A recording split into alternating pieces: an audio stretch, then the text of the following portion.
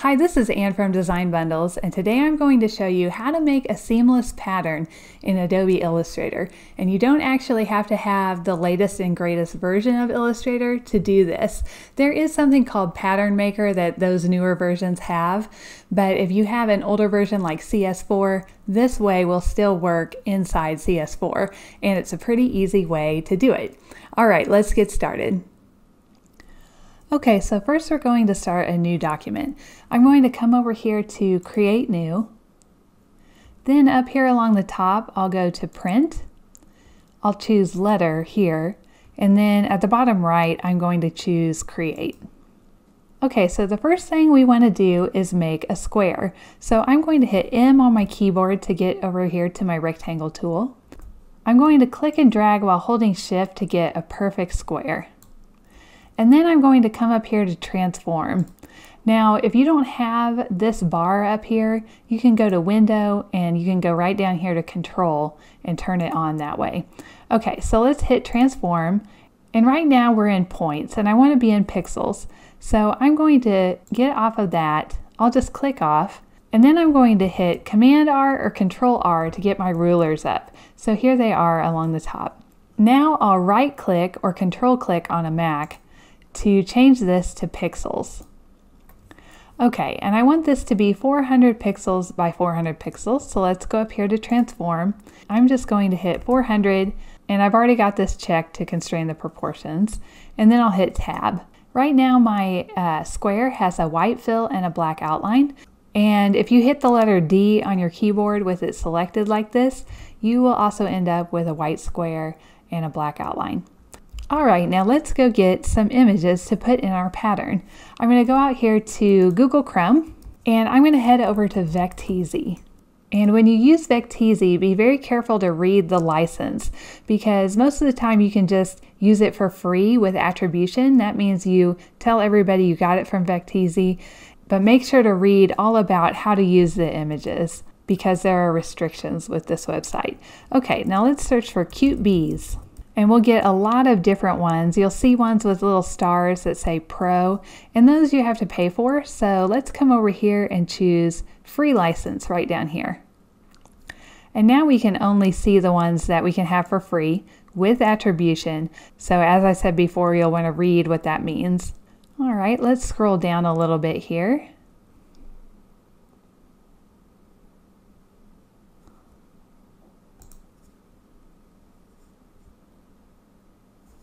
And I'm really liking this one here. So I'll click on that and then we'll download now. Now when it's done downloading, it'll show up right down here in the bottom left if you're using Chrome.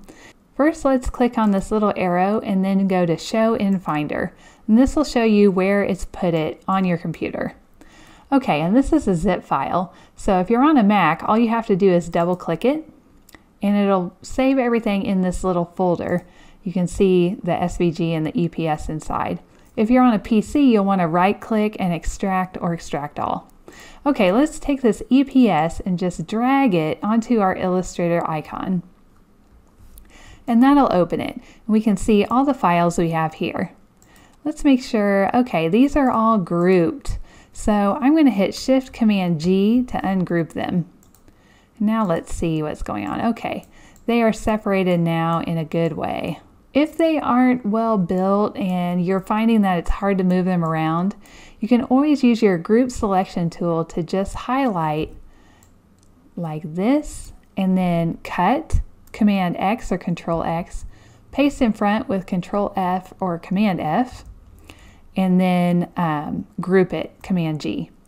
So that would get this one as its own movable image. But these all look pretty good. Okay, I'm going to command minus to zoom out. Control minus on a PC. And now I'm just going to select all of these, copy them, and bring them into our document with the square. So I'll paste them in here. Okay, I'm going to command minus to zoom out. Then I'll hit V on my keyboard to get to my um, selection tool. I'll get on a corner and hold Shift and Option and just resize these. That's Shift and Alt on a PC. Okay, and I want them about this size. Let's hit Z and draw a box around it to zoom in. That is this tool right over here. Now I'll hit V and get back on my selection. And I'm just going to position this. Um, I might want these a little bit bigger. So I'm going to select them all, hold shift and deselect the box. And we'll make them just a little bit bigger. Now I'm going to place some of these icons along this edge and I'll rotate them too. So I'm going to click and drag this one over here. I'm going to get near the edge and just rotate it a little bit because I want the pattern to look kind of whimsical. So we want these to not be just straight up and down. Let's get the bee.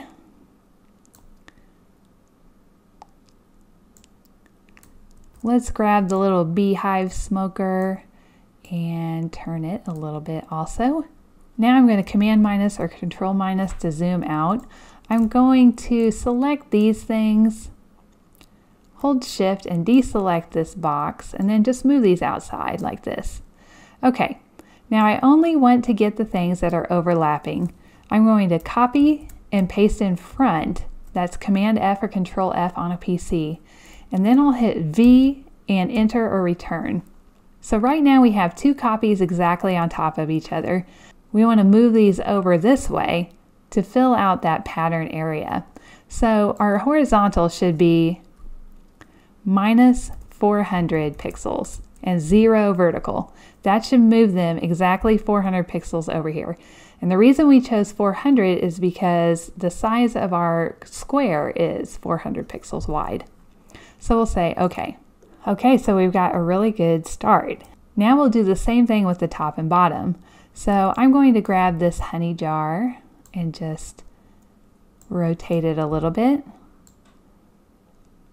Put this one here. Maybe the flower can go here. And then I'm thinking I want another bee, so I'll option and drag him down here like this. Okay, let me space these out a little better. Now I'll select all four of these.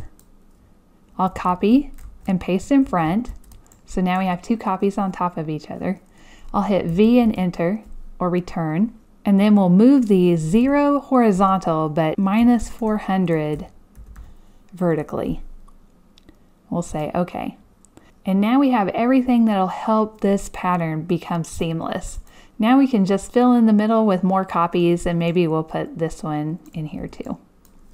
It's like this. Let's move this one in.